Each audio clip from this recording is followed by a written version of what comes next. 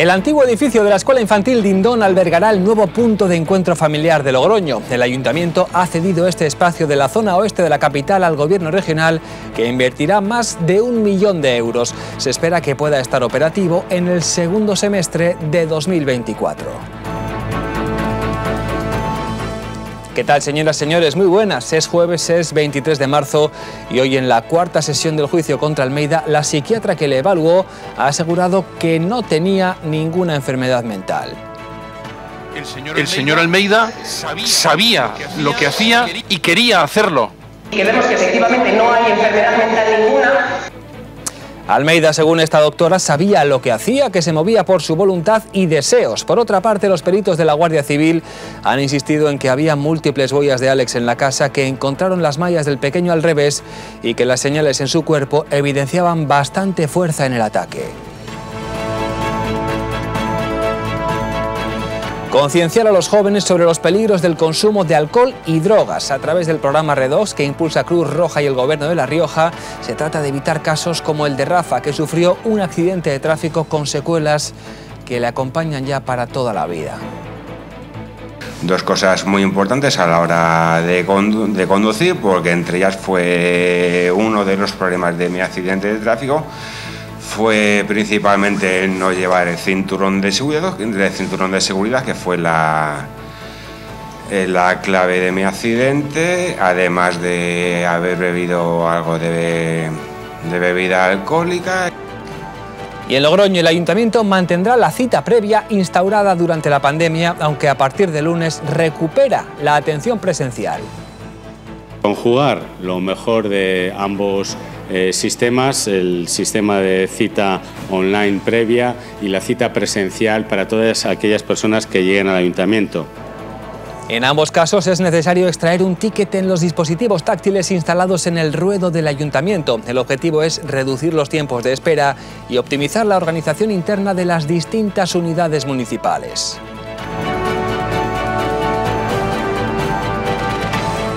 Y en deportes, la Unión Deportiva Logroñés se complica mucho la salvación tras perder anoche en Sabadell. Varapalo para los de Sergio Rodríguez que desde hoy ya preparan el duelo del domingo ante la Nucía. Situación más que comprometida para un equipo que encara sin frenos el camino hacia la segunda federación.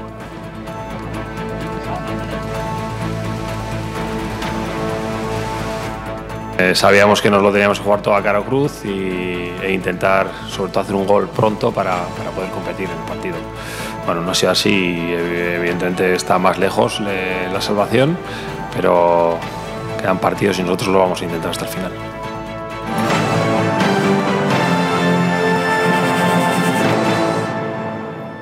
Lo que hacemos es hacer un acceso por aquí, por calle Río Isla, otro acceso por eh, calle Rodejón y luego otro por calle Estanque. ¿no? Entonces, la primera decisión de proyecto son tres accesos independientes para que no hayan cruces. Así, con accesos independientes para evitar cruces conflictivos y una profunda renovación interna y externa, el edificio de la antigua Escuela Infantil Dingdon se convertirá en el nuevo punto de encuentro familiar de Logroño. El ayuntamiento ha cedido al gobierno regional este espacio que se espera pueda estar operativo a finales del próximo año. El ayuntamiento de la capital recuperó hace años esta parcela y esta infraestructura en la zona oeste de la ciudad, el edificio que albergó la escuela infantil Ding Dong y que ahora se ha cedido al gobierno regional. Ya hay proyecto, dentro de unos meses podrá bueno, utilizarse, dársele uso y bueno, y esa es la lógica que el ayuntamiento y este equipo de gobierno ha seguido, poder poner y abrir todos aquellos espacios que estaban cerrados, darles una utilidad y en este caso una utilidad social y bueno, mejorar algunos de los servicios que desde, eh, bueno, en este caso el gobierno de la Rioja se, se presta. Con este acuerdo se va a poder utilizar la infraestructura para acoger el nuevo punto de encuentro familiar de Logroño tras una inversión que será superior al millón de euros. La inversión que se va a realizar es de 1.100.000 euros y confiamos en que es un proyecto a 8 o 10 meses en la obra, de que en el segundo semestre del año próximo esté finalizado y en servicio. Y es que cada año cientos de riojanos hacen uso de esta clase de servicio. El año pasado fue en cuanto a personas ya eh, de forma continuada 600 eh, personas aproximadamente y de los cuales 237 son niños y niñas que eh, van a poder acceder a ese régimen de visitas con el progenitor correspondiente. Los arquitectos encargados de la obra han señalado que los accesos serán independientes dado el tipo de uso que se ofrecerá y que además se reformará para ofrecer eficiencia energética. Uno que es el punto de encuentro familiar y otro unas oficinas para justicia y a su vez otro nuevo acceso para una sala polivalente. Y eh, se sustituyen la totalidad de instalaciones para intentar pues, conseguir un edificio de consumo casi cero. El consejero ha asegurado que cuando finalice será el mejor punto de encuentro familiar de España. Y seguimos muy pendientes del juicio contra Francisco Javier Almeida por el crimen del Ardero. La psiquiatra que le evaluó tras ser trasladado a la cárcel de Segovia ha asegurado hoy que no tenía ninguna enfermedad mental y que conocía la ilicitud de sus hechos. Previamente, los peritos judiciales han destacado que las señales en el cuerpo de Alex evidenciaban bastante fuerza en el ataque. El señor Almeida sabía lo que hacía y quería hacerlo. Que vemos que efectivamente no hay enfermedad mental ninguna, Aquel 28 de octubre de 2021, Almeida sabía lo que hacía, conocía la ilicitud de sus hechos y se movía por su voluntad y deseos. En ello ha insistido hoy en la cuarta sesión del juicio la psiquiatra que le evaluó tras ser trasladado a la cárcel de Segovia. Además, según su testimonio, que ha realizado por videoconferencia tras repetidos problemas de conexión, no tenía dependencia alcohólica ni problemas de memoria. Nosotros no vemos que haya ninguna alteración a nivel de la mente que implique una falta de memoria. Otra cosa es lo que él diga. Previamente han declarado los peritos de la Guardia Civil encargados de la investigación criminalística. En el domicilio de Almeida encontraron numerosas huellas y en el dormitorio pelos de la peluca y las mallas que llevaba Alex. Mallas que estaban del revés, para entendernos. La goma no está en su posición natural, sino que parece como que está fuera de lugar. De, de quitárselo uno solo no lo No, deja así. No, no, Probablemente como que ha sido arrancado ese pantalón. probablemente. El pantalón además tenía... Sí, sí, pues, probablemente pueda ser por eso. Estos agentes también estuvieron en la autopsia. unos síntomas eh, muy feos en el cuello. Sí. Sí, tenía unos síntomas pues de, de haber sido asfixiado. Unas erosiones y unas abrasiones bastante pronunciadas. Para dejar esas marcas en una persona creemos que eh, se ha realizado con bastante fuerza. Así ha transcurrido esta cuarta jornada del juicio contra Almeida, que se enfrenta, les recordamos, a la pena de prisión permanente revisable por el delito de asesinato y a 15 años por el de agresión sexual. Los problemas con las drogas y el alcohol siguen siendo una tragedia para muchas personas. El caso de Rafa es un ejemplo. 24 años después de sufrir un accidente de coche por consumo de alcohol, sigue sufriendo secuelas y ahora cuenta su testimonio y lo hace a través del programa Redox que impulsan Cruz Roja y el Gobierno regional. Beber y conducir no es una buena idea. Una mala combinación a la que se le puede unir no ponerse el cinturón de seguridad. El resultado es un accidente con consecuencias para el resto de la vida. Este es el caso de Rafa. Dos cosas muy importantes a la hora de, condu- de conducir, porque entre ellas fue uno de los problemas de mi accidente de tráfico, fue principalmente el no llevar el cinturón de seguridad, el cinturón de seguridad que fue la, eh, la clave de mi accidente, además de haber bebido algo de, de bebida alcohólica. Su testimonio es usado por Cruz Roja en su programa de concienciación Redox para jóvenes. El alcohol y las drogas son un problema que padecen muchas personas y se intenta evitar en la mayoría de los casos posibles.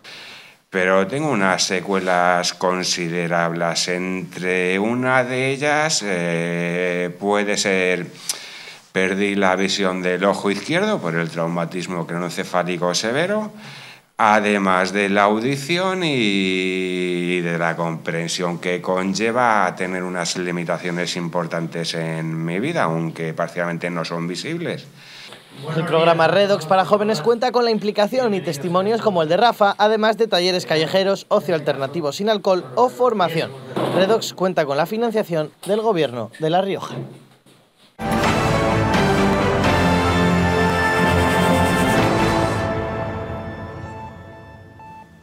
Antón Costas, presidente del Consejo Económico y Social, expuso ayer una visión optimista sobre la economía española. En un foro organizado por Diario La Rioja, el economista destacó el papel de la reforma laboral para sujetar el empleo y aseguró que en un escenario de incertidumbre mundial son fundamentales planes público-privados como los PERTE y los Next Generation de la Unión Europea. El Foro Económico de Diario La Rioja, que cuenta con el apoyo del Gobierno regional, permitió ayer conocer la visión del presidente del Consejo Económico y Social. En una conferencia en el Círculo Logroñés, Antón Costas explicó sus previsiones en un escenario mundial de incertidumbre. ¿Y qué es incertidumbre? Incertidumbre es en economía y en empresa, es la incapacidad absoluta que en algunos momentos tenemos para saber qué riesgos tenemos delante. Y ante ese desafío, el economista destacó el papel de los PERTES y los fondos europeos para afrontar este escenario incierto. Eso es lo que estamos haciendo en Europa con los Next Generation, con otro tipo de programas de fondos que vendrán, es lo que está haciendo Estados Unidos con los dos grandes programas de inversión. Compartamos el riesgo, nos puede ir mal, pero hemos de, dice, compartamos el riesgo. En una situación de incertidumbre tenemos un poco este tipo de necesidad de darle respuestas, es la idea de oportunidades, si las afrontamos de forma colectiva. Costas aseguró que el gran reto del país es este. Crear eh, buenos empleos para más gente en más lugares de nuestro país. Y subrayó la potencia de la economía española que sigue manteniendo un saldo positivo en su balance de pagos. Créanlo, salgan al menos de aquí, de esta eh, charla de hoy, salgan con la convicción de que somos un país competitivo, que tenemos un sistema, un tejido empresarial con una gran capacidad de innovación y de competencia, que la podemos mejorar y que seguramente lo vamos a hacer, pero de partida que podemos, que tenemos condiciones para hacerlo. Precisamente de impuestos se ha hablado hoy en la sede del Partido Popular. Capellán se plantea el reto de convertir a La Rioja en la comunidad con los impuestos más bajos del país a partir del 28 de mayo. Propone una rebaja en el IRPF y se compromete a eliminar el impuesto de sucesiones y donaciones de padres a hijos. Convertir a La Rioja en la comunidad autónoma con impuestos más bajos de toda España, eliminaremos progresivamente el impuesto de sucesiones y donaciones en La Rioja, comenzando en el primer año por las sucesiones y donaciones de padres a hijos.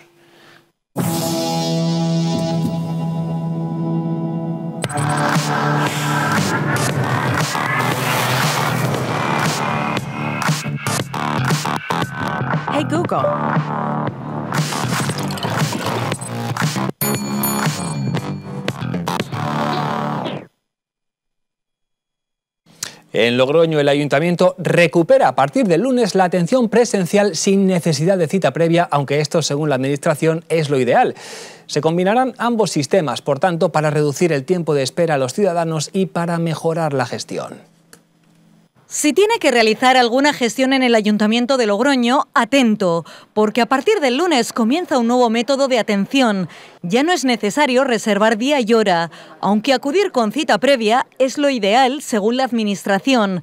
En los dos casos, eso sí, cuando llegue, es necesario extraer un ticket en los nuevos dispositivos instalados en el ruedo. Este sistema permitirá que cada unidad pueda realizar eh, una eh, modulación de esta atención ciudadana de tal manera que se pueda conjugar la parte de la cita previa online con la cita presencial que se puede adquirir en eh, la llegada a este ruedo a través de los dos tótems. Deben tener en cuenta que las atenciones sin citas serán limitadas y siempre en horario de 9 a 2. Así, con este sistema, similar al utilizado en la Seguridad Social o la Policía Nacional, se busca reducir los tiempos de espera del ciudadano y optimizar la gestión interna a través de un sistema de estadística, una aplicación de DAFOS, con toda la nueva información que nos proporcione este nuevo sistema, vayamos mejorando progresivamente en el futuro. Este servicio comenzará a funcionar, le recordamos, a partir del lunes y para ello se ha formado al personal del ayuntamiento. Y hoy jueves Jaime Caballero se ha pasado por esta casa, por los estudios de TVR. El concejal de Desarrollo Urbano dice que siguen trabajando en el modelo de reforma que quieren acometer en San Antón, aunque se inclina más por el modelo que se ha implantado en la calle Fundición. Creemos que San Antón es más parecido a la calle Fundición porque es una calle más interior, que no es calle de paso, sino que es una calle interior eh, entre lo que pueda ser eh, Vara de Rey y República Argentina.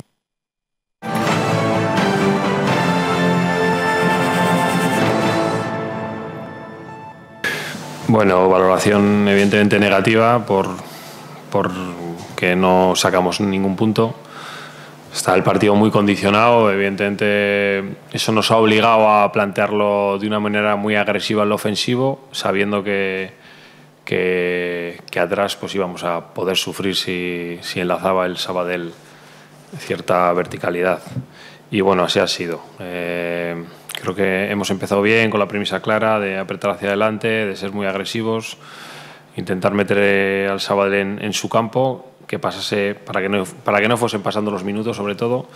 Pero bueno, el gol ya desvirtuó bastante. Y luego, bueno, pues sí que hemos tenido alguna acción que, que nos podía haber acercado ¿no? para competir, pero bueno, no ha sido posible.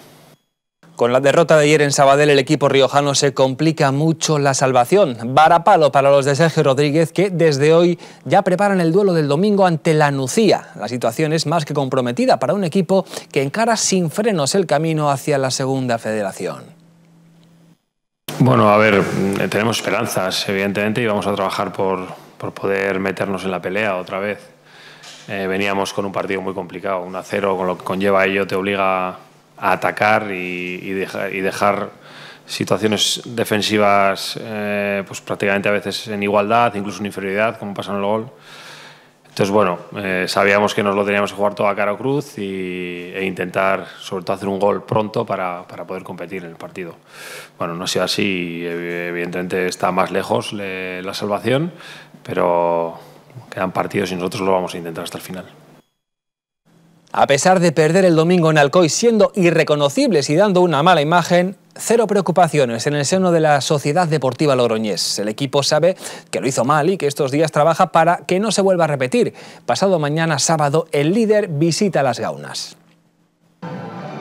Llevaban nueve jornadas sin perder, no conocían la derrota en toda la segunda vuelta, habían competido en todos los partidos, pero el domingo no estuvieron bien en Alcoy y volvieron a casa con un mal resultado. Lo hicimos mal y que por eso perdimos. Y eso te da una seguridad de que tenemos que seguir haciendo cosas para poder ganar para poder eh, coger y cumplir primero los objetivos, ¿no? que, ya llevamos varias semanas donde bueno, la trayectoria del equipo invitaba a, a, ser optimistas, pero que hasta que eso no suceda, pues tenemos que ser realistas. Y la realidad dice que tenemos que apretar todos los días desde el minuto uno para poder luego eh, ser competitivos y cuando ya seamos competitivos estaremos más cerca de ganar. Y nada mejor para olvidar la derrota en el Collao que pensando en que pasado mañana visita las Gaunas el líder, un equipazo como el Eldense que encadena dos empates consecutivos. Bueno, estamos en casa contra el líder y cuando uno va primero es porque es el mejor de momento. Entonces está claro que a un partido le podemos ganar a, cualquiera y ese es nuestro, nuestro ánimo, ¿no? Pero mm, a partir de ahí te pones a jugar, te pones a competir, puedes ganar, empatar o perder. Si viene otra derrota, pues la afrontaremos otra vez y sacaremos las conclusiones. Para el encuentro ante el Eldense, Jona contará con las bajas seguras de Caneda por sanción y de Ángel por contrato.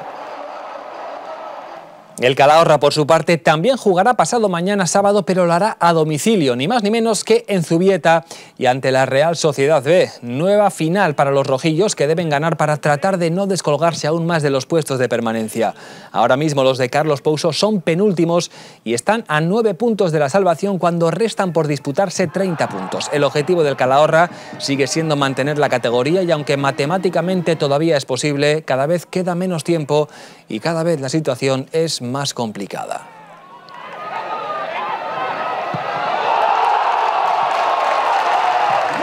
El pelotari Javier Zavala aspira a ser mañana finalista por segundo año consecutivo del Parejas de Promoción. Tras perder hace una semana su primera bala, al riojano y a su compañero Gascue no les quedan más, por lo que si ganan pelearán por el título y si pierden dirán adiós al torneo. Partido, por tanto, a cara cruz, a vida o muerte, que Zabala jugará frente a Bacaicoa y Morga Echevarría. El riojano está con ganas, está bien de manos y en su cabeza no cabe otro resultado que no sea el de llegar al cartón 22 y plantarse en la final, donde ya esperan Larrazábal y Ezquiroz.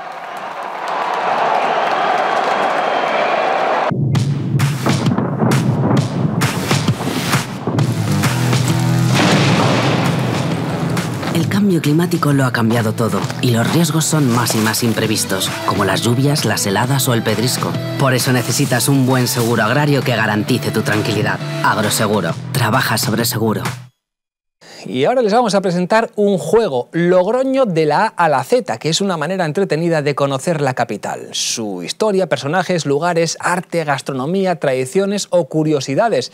Y todo ello, como decimos, a través de un juego en versión online para cualquier dispositivo móvil y también en formato libro. Las preguntas son de fácil respuesta, por lo que se trata de un juego inclusivo destinado a toda la población. Logroño de la A a la Z es un juego para conocer y difundir la capital. Una apuesta para que la ciudad sea conocida por todas las personas que aquí habitan y sus visitantes.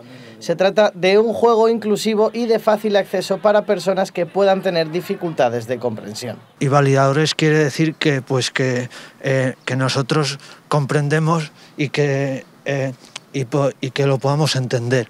Eh, un poco complicado, sí, pero por lo menos hemos, eh, estamos trabajando mucho en ello y, y, y, por lo, y, La publicación sirve para aprender sobre tradiciones, personajes históricos o zonas de la ciudad con preguntas estilo adivinanza adaptadas a cinco niveles de comprensión, todos ellos en lectura fácil. Y a mí me encanta este juego porque es muy divertido, hay, pa hay palabras más fáciles que otras. Para mí son libres que van de poco al nivel 5 que es muy complicado ya para mí.